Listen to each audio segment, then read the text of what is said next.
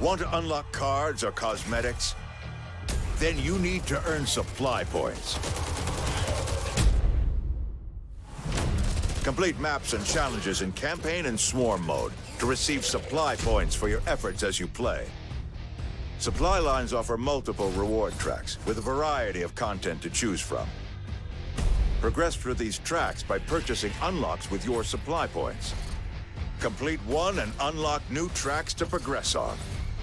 Take on challenges, earn supply points, and complete supply lines to earn incredible rewards. You'll unlock everything, from game-changing cards to killer cosmetics.